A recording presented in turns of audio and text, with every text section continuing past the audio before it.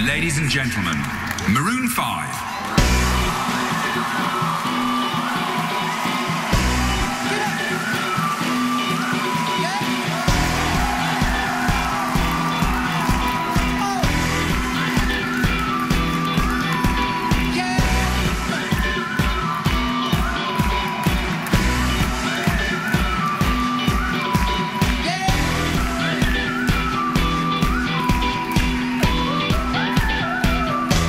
to shoot for